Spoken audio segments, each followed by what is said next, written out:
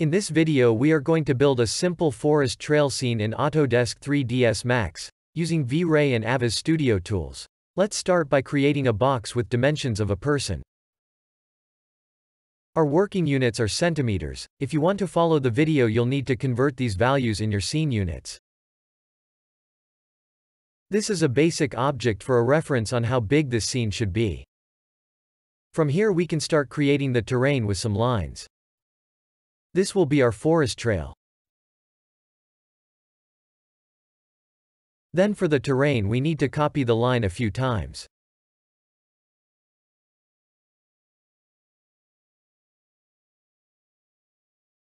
And then move the individual lines in z dimension to define the slope of the terrain.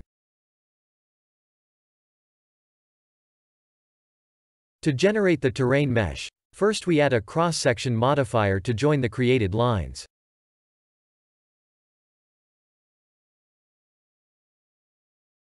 And then we apply Edit Patch modifier, to generate the mesh from the lines.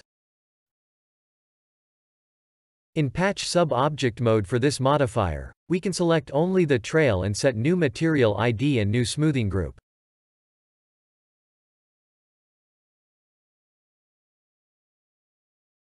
On top of this, adding a Turbo Smooth modifier will smooth the terrain and add more geometry.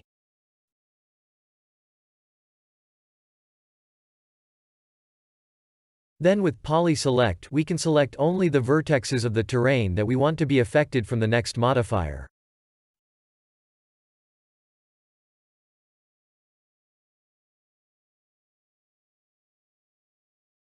By using soft selection the transition between affected and non-affected vertexes can be easily blended. Now we are ready to apply noise modifier to add more details to the terrain.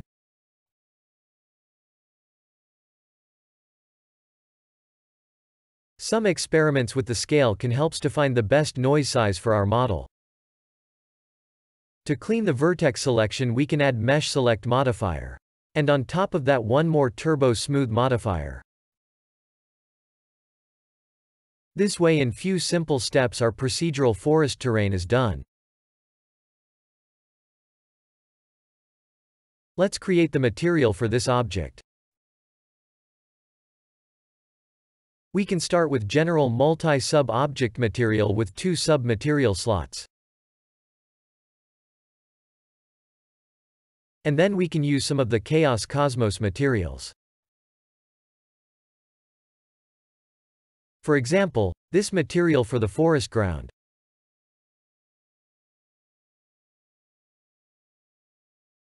And this material for the forest trail.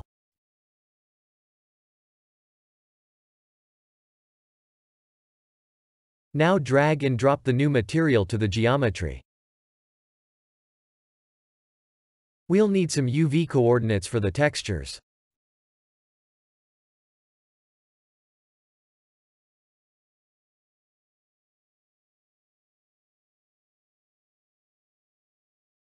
Maybe a little bit bigger size.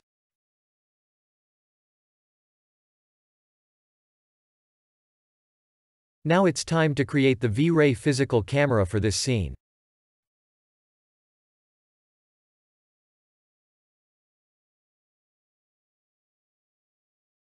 For now Z position of the camera will be at the eye level of standing person.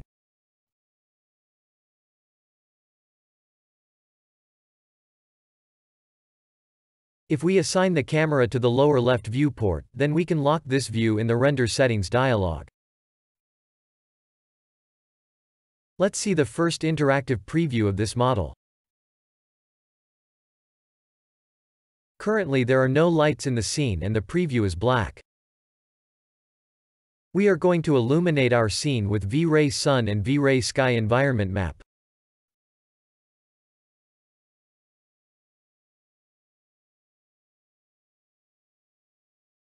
In the new V-Ray 6 we can even add procedural clouds to our sky.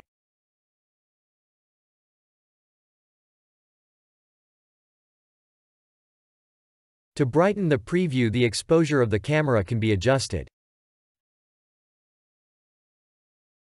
For the perspective viewport we can change the background to gray to be able to see better the individual objects.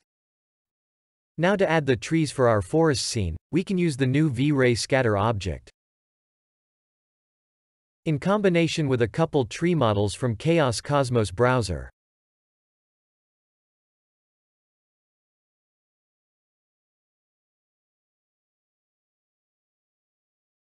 These three models will work great for our scene.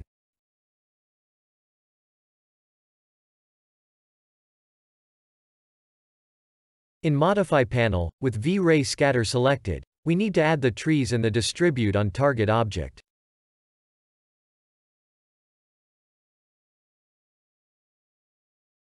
There are too many tree instances now, so we need to adjust the scatter parameters. First, avoid collision checkbox and spacing. Then we need to fix the alignment of the trees.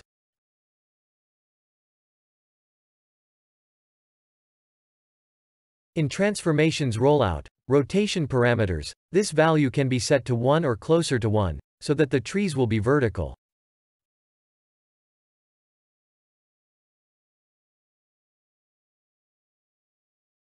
The second problem that we have with the scattered trees is that they grow on top of our trail. To fix that, we can create new line in the top view port, that defines the region where we do not want trees.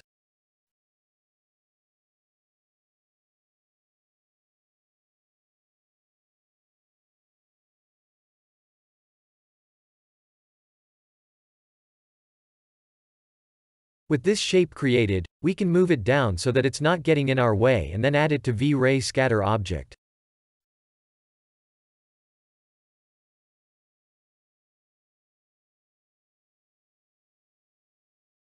As we can see, in a few clicks we clear our trail from trees.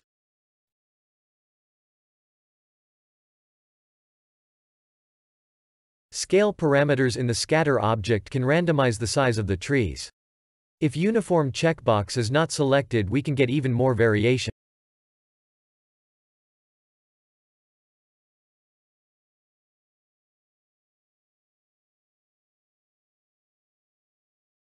Let's see how these trees look when rendered.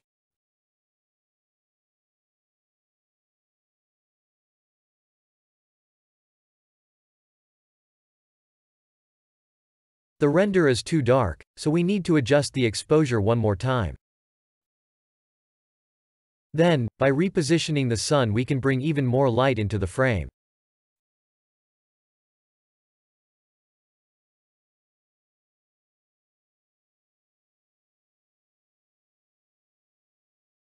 Here we'll need more trees to fill the background. This will be an easy fix with our procedural terrain.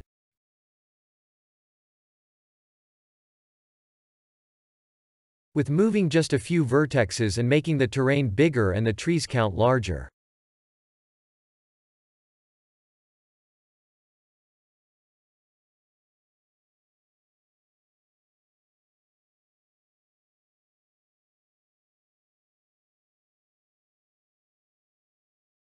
Sometimes when modifying an object, the interactive renderer needs to be restarted.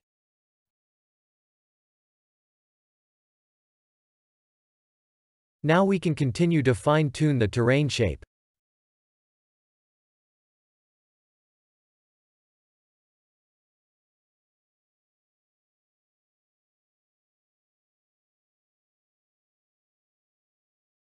With the new terrain, we can reposition the sun again.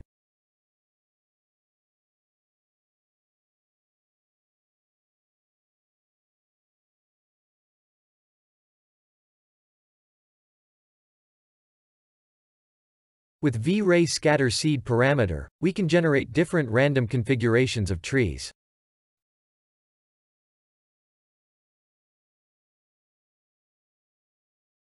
This one looks interesting.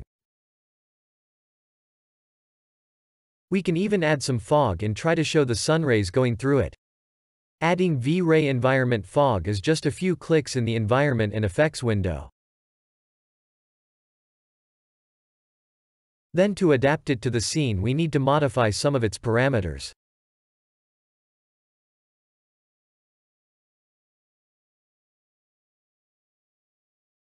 To see the preview of the fog, the interactive rendering need to be restarted.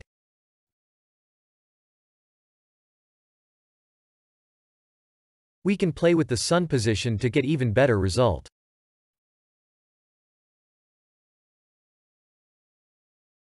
Also, we need to increase the ISO and f number of the camera, because the scene is too dark. Now the scene is looking better, but we can lower the transparency of the fog to make it less visible. To finish our forest scene, we need to add some grass. Let's hide all current objects and import some grass assets. In the latest versions of Chaos Cosmos browser we can find a preset with wild grass that will work great with our scene.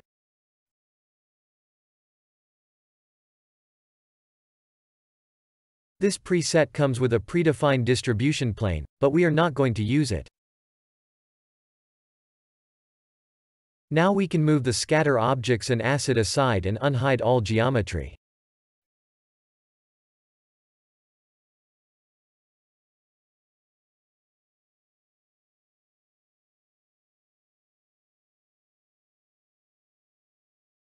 To work faster we can hide the trees for now.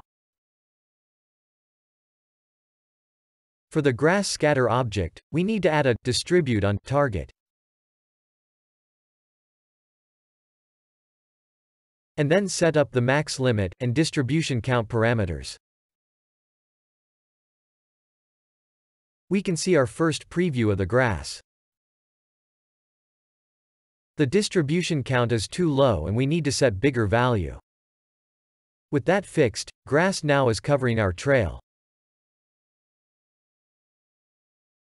The trail should be excluded from the grass scatter area.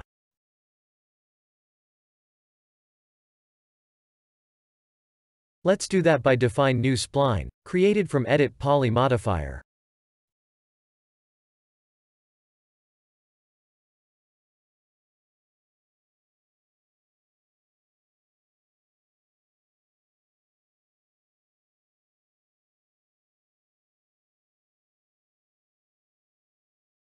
The last thing to do is to add the new editable spline to excluded areas in the grass scatter object.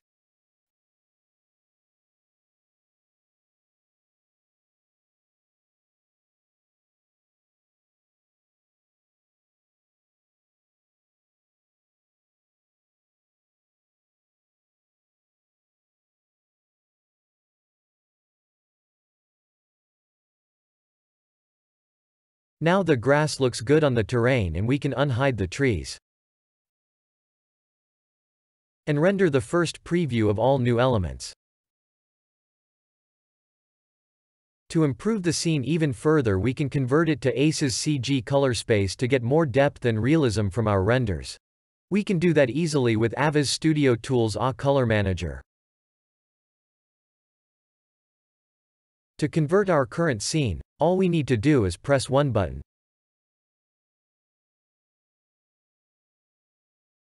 Once pressed, all scene materials will be converted and then 3ds Max will update the view port shaders. This will take a few seconds. Once done, we can preview our scene in ACES CG color space.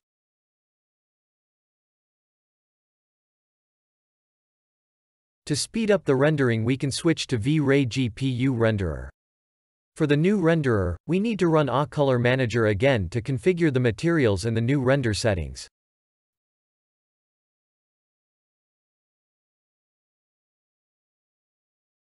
In this case we are also going to use distributed rendering.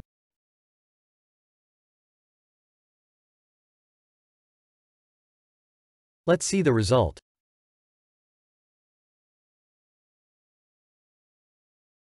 The scene looks good, but to make this scene even better we can add a point of interest in our composition. To do that, we can add a person walking on the trail.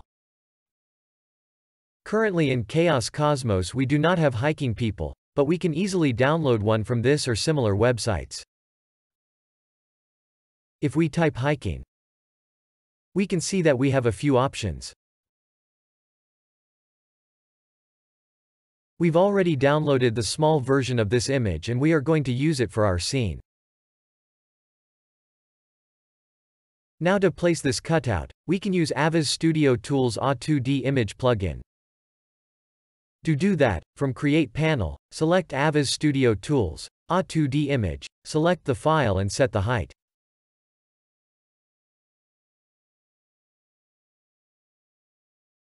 Then pick a point on the trail. If it's too far away, we can reposition the object.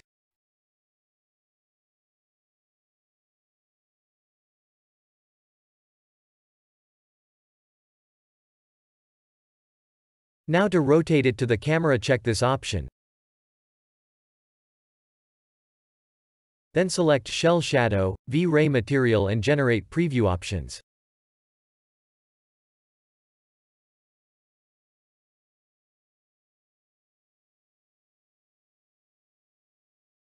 For the network rendering we can convert the A2D image object to editable poly. And render the scene. Now we have more interesting composition, but we can reposition our A2D image object to achieve even better result.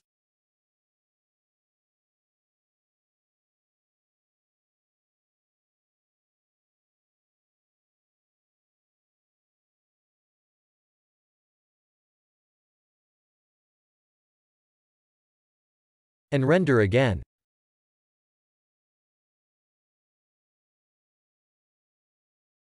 Now the texture for our 2D image of a hiker is more saturated because we are working in ACES CG and we have not converted the material for this object. We can convert it by selecting the object, opening A Color Manager dialog and pressing Convert Selection button.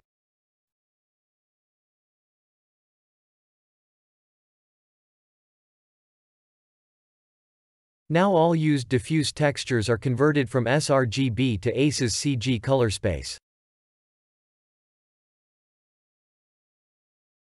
Let's render and see how the converted texture look like in our scene.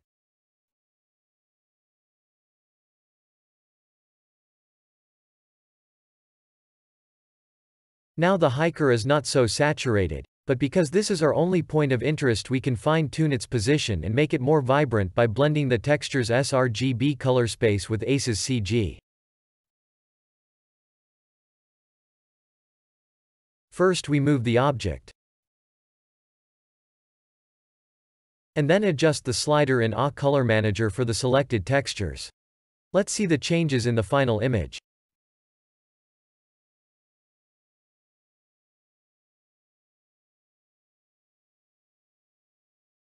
To make the image more realistic, we can enable some lens effects and adjust the parameters. While rendering, we can try some of the other included with A Color Manager LUTs. With the dark lookup table we get more like late afternoon look. And with the bright lookup table, more like early morning. With base lookup table we get the normal ACES CG workflow colors and contrast. This is the final image on full screen with the bright lookup table applied. This is the same view rendered in sRGB color space. This is the image rendered in ACES CG color space with the base lookup table. This is the image rendered in ACES CG color space with the base lookup table and some color corrections in external application. We hope you enjoy this short tutorial. Please consider liking, subscribing and sharing our videos. Thank you for watching.